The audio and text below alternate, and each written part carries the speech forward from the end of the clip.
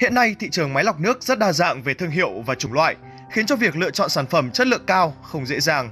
Đặc biệt, hiện trạng lõi lọc giả, lõi kém chất lượng được bán tràn lan trên thị trường, khiến người tiêu dùng rất lo lắng. Có mặt tại Việt Nam từ năm 2015, A.O. Smith là một thương hiệu đến từ Mỹ với lịch sử 145 năm, một trong 50 nhà sản xuất tốt nhất Mỹ năm 2018, đã mang đến cho người tiêu dùng nhiều sản phẩm bảo vệ sức khỏe như máy lọc nước, máy nước nóng, máy lọc không khí với nhiều công nghệ vượt trội, tiên phong trên thị trường.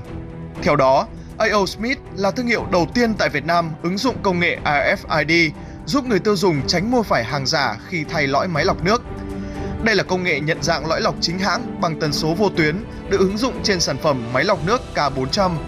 Con chip điện tử gắn trong thẻ RFID đi kèm với lõi lọc. Khi thay lõi, con chip điện tử sẽ phát ra mã nhận dạng giúp cho máy lọc nước có thể xác định được đâu là lõi lọc chính hãng.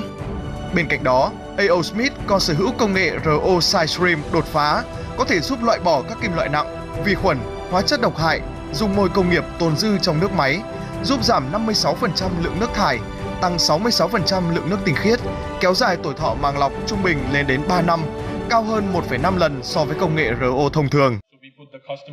Chúng tôi luôn cố gắng thấu hiểu vấn đề và nhu cầu của khách hàng ở mỗi quốc gia, từ đó nghiên cứu tạo ra các sản phẩm phù hợp thay vì bán các sản phẩm giống nhau trên toàn cầu. Là thương hiệu luôn đi đầu trong việc ứng dụng các phát minh sáng chế vào thiết bị xử lý nước tại Việt Nam và trên thế giới, A.O. Smith đã đóng góp hơn 140 bằng phát minh sáng chế quan trọng trong ngành lọc nước nhằm đem đến cho người tiêu dùng sản phẩm tốt cho sức khỏe.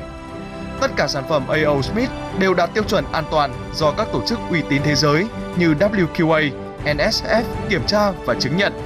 Đến nay, A.O. Smith xây dựng hơn 1.000 điểm phân phối và được người tiêu dùng khắp cả nước đón nhận.